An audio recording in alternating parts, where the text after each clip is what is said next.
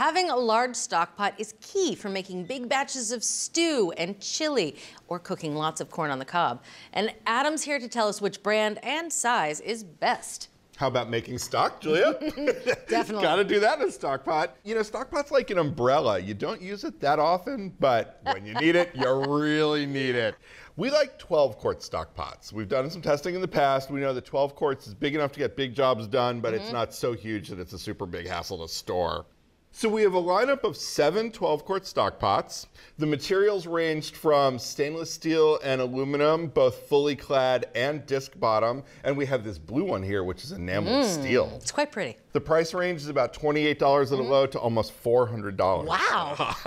Oh, good morning. yeah. And the testing was fairly extensive. We cooked two pounds of angel hair pasta in eight quarts of boiling water, cooked two dozen ears of corn, cooked diced onions to get a sense of how moderately or quickly or slowly they cooked. And of course, we made a full batch of chicken stock. Mm-hmm. And testers also considered the weight, the fit of the lid, and the handles. The cooking performance across all the materials was pretty equal. Really? Yeah, not big differences there.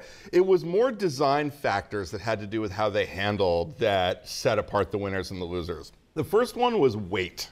The range was about three and a half pounds at the mm-hmm. low to seven pounds at the high. And you know, a seven pound pot is not necessarily light. And when you're making stock, you're adding almost 11 pounds worth of ingredients. Yeah, it can get heavy and hot. Let's do a little lifting for you. I have All some right. oven mitts for you. Thank this you. one was the heaviest pot there, and it's got 11 pounds of water in there to mimic a stock recipe. Oh my goodness.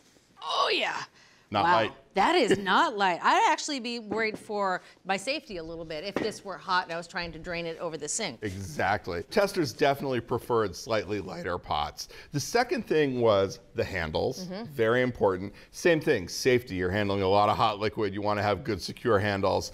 They liked handles that were more generous and more loop shaped. Why don't you try that one first? Those are less generous and less loop shaped. See how you feel about that? Well, especially with pot holders, right? Yeah. Oh yeah, no, I don't.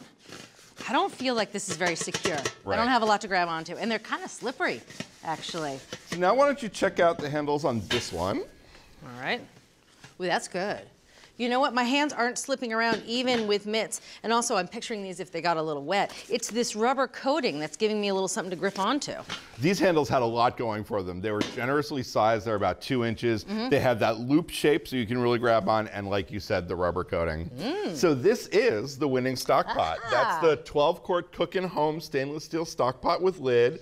It's got great handles. It was the second lightest one in the lineup, and it was only 28 bucks. Even better. So there you have it. When it comes to buying a large stock pot, check out this one. It's the Cook N Home 12 quart stainless steel stock pot with lid at only $28. Thanks for watching America's Test Kitchen. What'd you think? Well, leave a comment and let us know which recipes you're excited to make, or you can just say hello. You can find links to today's recipes and reviews in the video description. And don't forget to subscribe to our channel. See you later. I'll see you later.